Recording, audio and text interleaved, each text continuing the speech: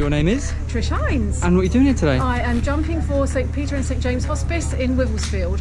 You've been raising money? I am been raising money. How much? I have so far raised £530. Give me a high five. You should be really proud of yourself for that. Now, how do you feel about jumping out of a plane? Yeah, good. Ready to go. Second, go? second attempt, so Nerves at all? A little bit. Got Hold your hand out flat.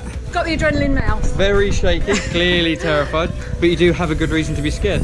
We're with Pete. He's just there. Have you met Pete? I have. Do you feel like you trust him? Absolutely. Do you feel like you trust him with your life? Yes. All good. Is there anything you want to say before we get up there?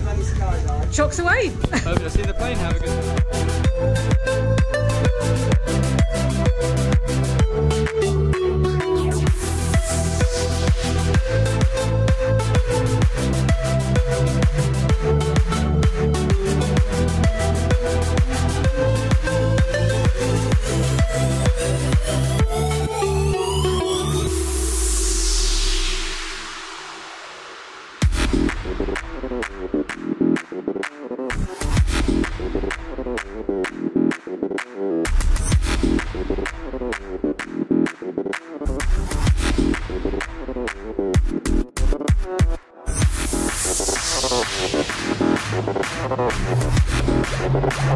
Check this out. Winding your way down on Baker Street, lighting your head up and dead on your feet when another crazy day. You drink the night away and forget about it. Just give me a sign. Give me a sign. If you love your life, now is the time. So throw your hands up high.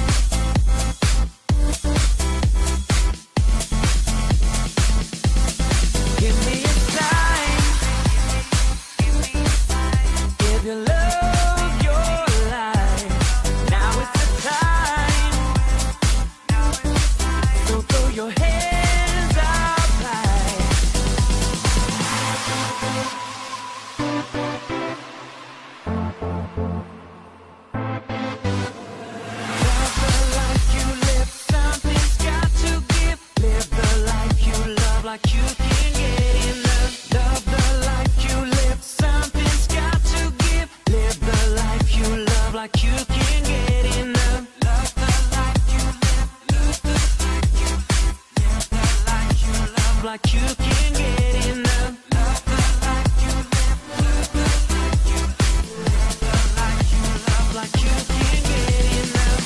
Too much to die for, not enough to live for. It doesn't matter how hard it seems to be. Now I do understand. It's just a way until the end. You So how was that? I think all that's going to be visible on there is my tonsils. Did you have a good time? Yeah, amazing. Awesome. If you want to take the hat off so we can see it's really you, there's no stunt double hiding under there. And then once you're on clips, I'll be able to give you a hand up. Oh my god. Wow. Hmm. I had the uh, seriously adrenaline mouth thing going on. I Yeah? feel my lips all stuck up. Right, I'll give you a hand up. Here we go. Thank you. And then tell us all about it. What was your favourite bit? Oh my god, I don't know. Coming down under the canopy, nice and peaceful. Had amazing to have a conversation. Yep. But I, I screamed the whole free fall. I screamed. I sound, Yeah. I think the only thing visible will be my tonsils. And But you my had a good time, yeah? here. Yeah, amazing. Would you do it again?